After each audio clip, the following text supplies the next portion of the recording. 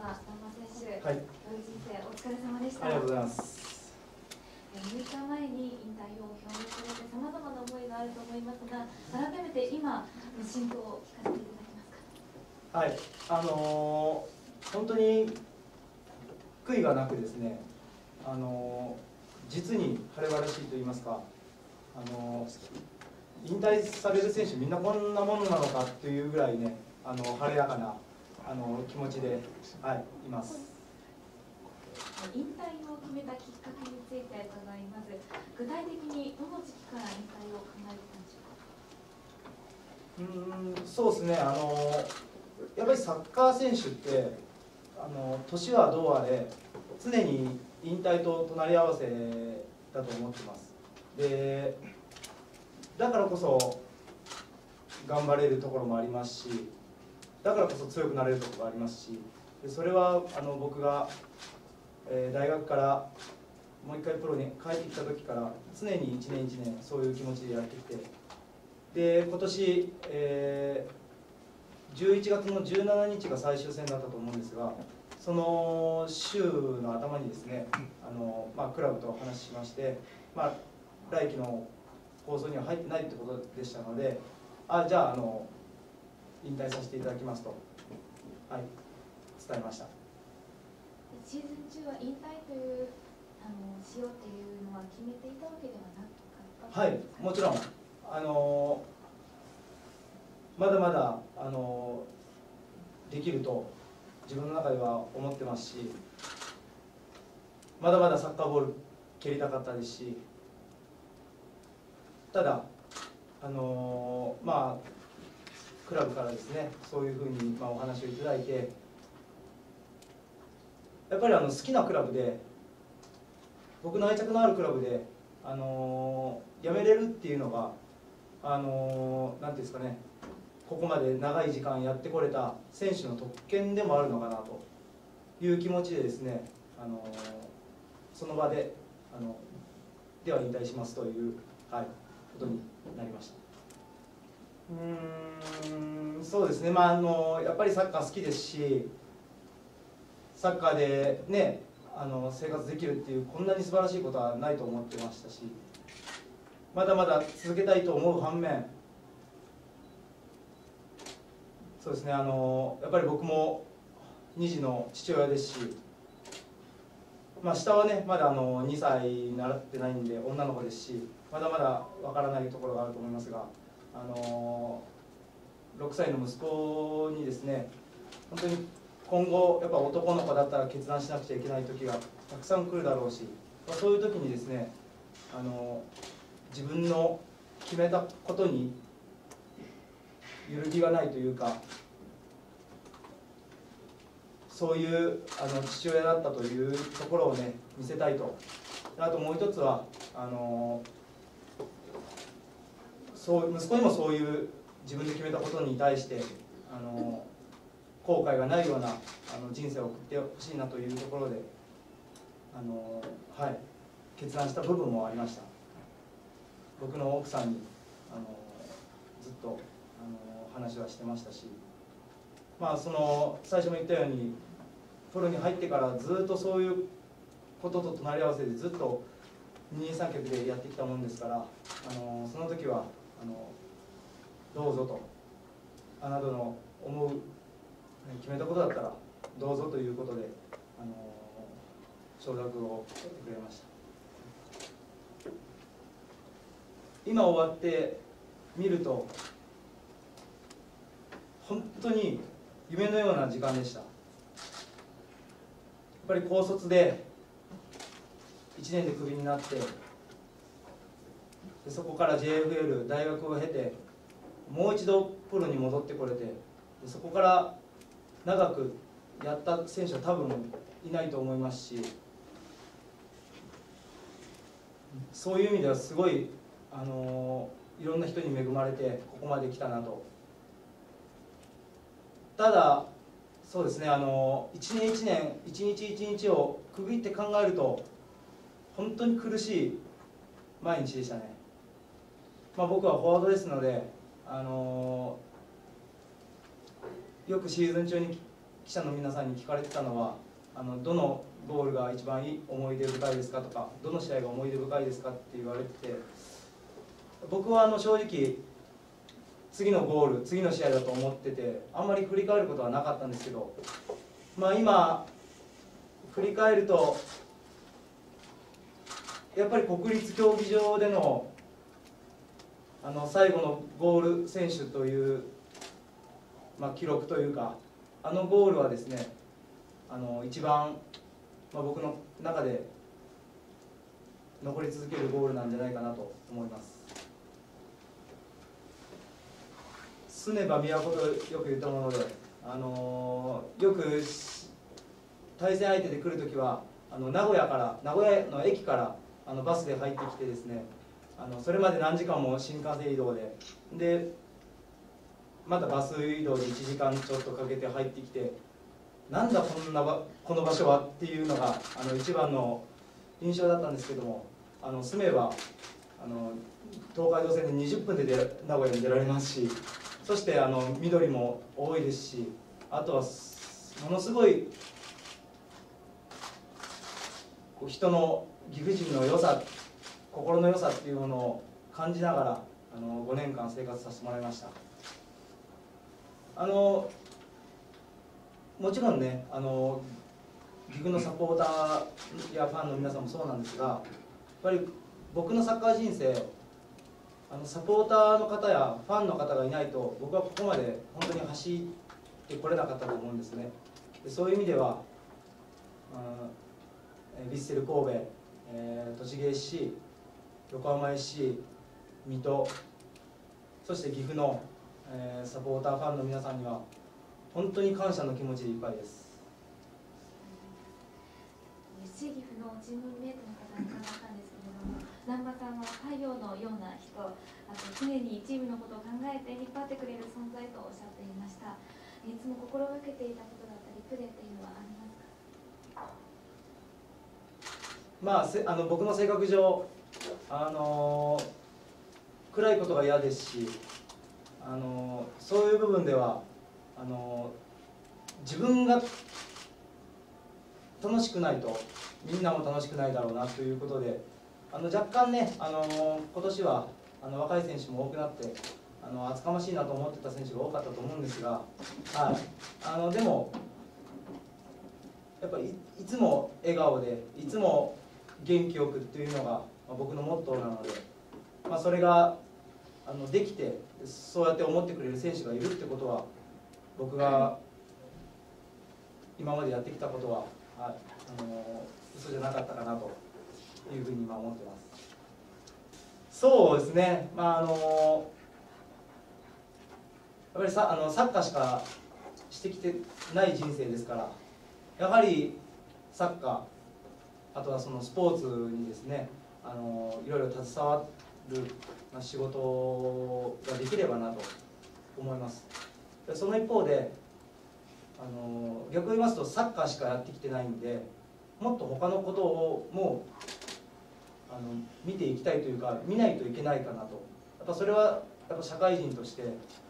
あの必要なことなんじゃないかなと思うので、まあ、限られた時間やあのそうですねあの、まあ、限られた時間の中でですがあのそういう社会を勉強するっていうこともやっていきたいかなと思ってます。そうですねあの本当にいろいろな要因がありますただ大きく2つの僕の中では要因がありましてまず1つは絶対に成功する絶対に諦めないっていうそういう気持ちを常にあの持ってたところかなと思います。でもう一つはやはりクラブへの愛着ですかね。あの僕はあの30歳の年に、えー、横浜 SC で、えー、ゼロ得点でした。で次の水戸ホーリーホックにレンタル移籍したシーズンも1点でした。で当時31歳で、えーまあ、どちらのチームとも契約がなくなって、えー、3日間あの無職というかどうしようっていう時があってですね本当にその時に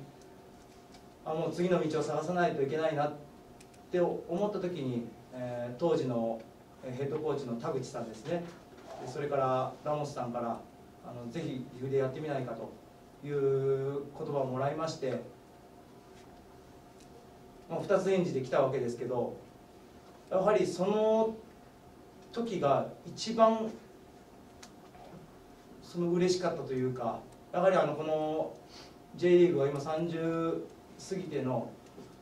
あの30歳過ぎての選手の、まあ、風当たりがこう厳しくなってると思う中で、まあ、そうやって今まで結果もあまり残してない僕を取ってくれた獲得してくれたこのチームあとは監督スタッフに対してはあの裏切れないなという気持ちで、まあ、いっぱいでした。はいまあ、それがそこにつながったんじゃないかなと思ってます本当にねあの今年に限ってはあの先発する試合がなくてですね途中からだったんですけどもその入るたびにですねあのスタジアムの観客の皆さんが僕を後押ししてくれるかのように大きな声援をしてくれて本当にとにかくその声援に応えたいなという気持ちであの試合も確かピッチに入ったと思います。で結果はやっぱりゴールもできなくてチームも勝利できなくてやっぱり悔しかったなという感情がまあ一番先に来たので、うん、引退を決めてからの試合でしたけどそこの点取れなかった勝てなかったというその悔しさだけが残ったような、はい、試合だったと思います。そしたらもう皆さん怒るでしょこれ。今日来た意味って。はいそうですね。まあやっぱりサッカー好きですしあのー、最後の試合を終えてからもういまだに朝起きてあ練習場に行かないとって思って数十秒後にあ俺は引退したんだと思うこの日々の中で、まあ、多分今までのその染みついた習慣が、まあ、操作してるわけであって本当に心の中では今本当にすっきりしててなその僕のサッカー選手人生に一つの悔いがないんですね。なので多分皆さんが心配してる事態は起きないかなと。はい。何だったんだというふうに思わせることはないかなというふうに思います。本当に僕みたいな選手がここまで長くやってこれたもちろんいろんな方のおかげそしてファンサポーターの方があっての僕だと思うんですががやっぱり一つだけ僕が誇れるなと思うのはやっぱり諦めない気持ちだったと思うんですね。なので今サッカー少年少女、えー、サッカー人口も増えているとは思うんですが本当にその中で生き残れるのは本当に強い気持ちを持った人間だけかなと思います。それはあのサッカーだけじゃなくてもいろんな部分でそうだと思うのでその自分の目標に向かって本当に諦めずにやっていってほしいなと思いますね。えっとまあ、正確に報告をしたのは、えーと、22日でしたっけ？21日でしたっけ？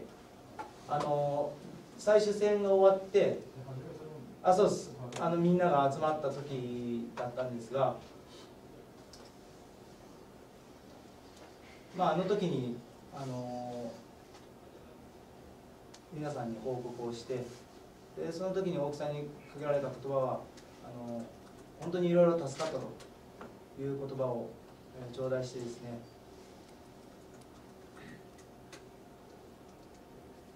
さすがにその時はねあのあ本当にサッカー選手辞めるんだなっていう、まあ、実感はしたんですが。あとはそうですね選手でも何人かあの声かけてくれた選手はいますしそれはあの僕の心の中で持っときたいなと思います、はい、ありがとうございました。まずはこの FC 岐阜というものは僕たちサッカーやってる人間だけが人間だけで成り立ってるもんじゃないんだぞっていうのを自分にも。そしてそれをその気持ちで活動することによって他の選手たちにも伝わればいいなというふうに思ってました。であとはその個人ですね。やっぱりその自分が今サッカーできてるのはこういう方たちのあっての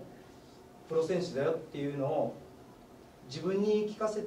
てそれの行動があのまあ、若い選手たちに移ればいいなっていうふうに常に思ってたんでなんですかねあの自分のためにやっていた、うん、行動だったんじゃないかなというふうに思います。そうですねあの m 1のエントリーがもう入ったんでそろそろ、はい、締め切りなんで。まず相方がねまだ見つからないんで R1 なのかななんて思ったりもしたりしてるんですけどまあ出るとしたら R1 の方で、はい、頑張りたいかなと。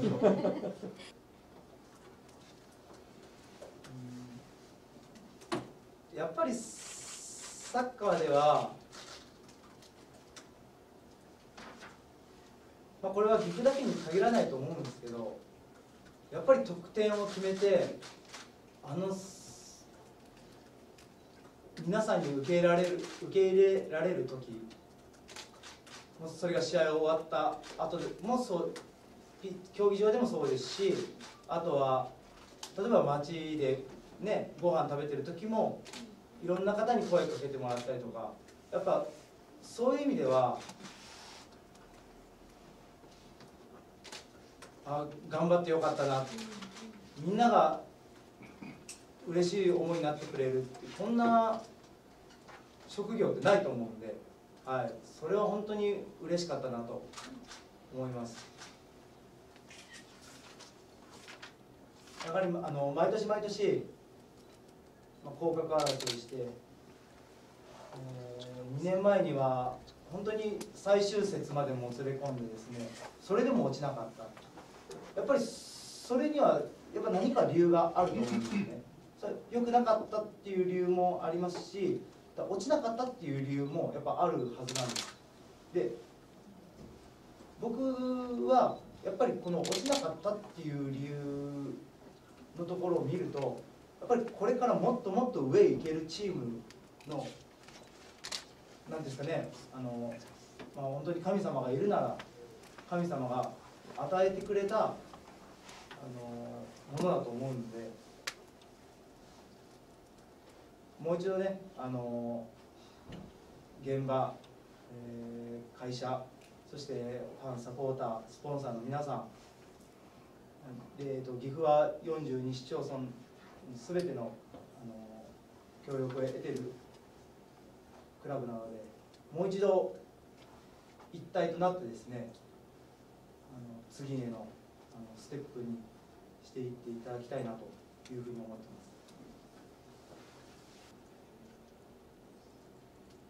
えまずはあの5年間本当にサポーターの皆さんありがとうございました、えー、何度も言いますがあなたたちがあの声援をくれたので僕はここまで走ってくることができました、えー、今日はあの、まあ、スーツを着てお堅い感じになってますがあの12月1日はですね、えー、ぜひもっとブランクにあのもっと多くのたくさんの方にあの感謝の気持ちをえー、言いたいと思いますので、えぜひあの12月1日あのアクティブ G さんに足を運んでいただければなというふうに思います。はい、それでは、えー以上をもちまして、えー、難波弘明選手の引退記者会見を終了させていただきます。ありがとうございました。ありがとうございました。